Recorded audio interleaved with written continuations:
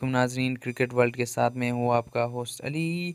आज के इस वीडियो में बात करेंगे पाकिस्तानी क्रिकेटर मोहम्मद आमिर और बाबर आज़म के दरमियान चल रहे तलखी के बारे में। जी हाँ नाजरीन, दोनों क्रिकेटरों ने अपनी राहें जुदा कर ली।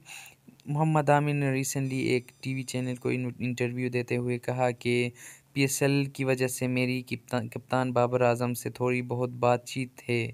ताहम इमाद वसीम से मेरी ज़्यादा बातचीत होती है। कौमी टीम में वापसी के अभी कोई इरादा, उम्मीद नहीं है। बहुत सी चीज़ें आगे निकल चुकी हैं। फ़िलहाल आसानी से ना वापस आ सकता हूँ। जी हाँ नाजरीन, इस बात पे बाबर आज़म को काफ़ी गुस्सा आया।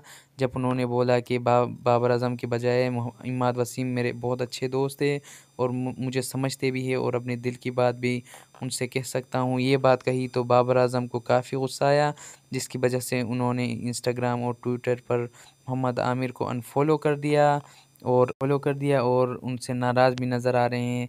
तो अभी ये इसके कभी चांसेस है कि मोहम्मद आमिर अपकमिंग पीएसएल में कराची किंग्स से नहीं खेलेंगे, वो किसी और टीम से खेलेंगे।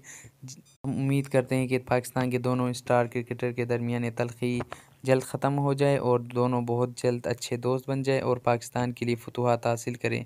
नाजरीन, ये था हमारा आज का वीडियो। उम्मीद करते हैं आपको वीडियो पसंद आई होगी। नाजरीन, क्रिकेट वर्ल्ड के साथ में हूँ आपका होस्ट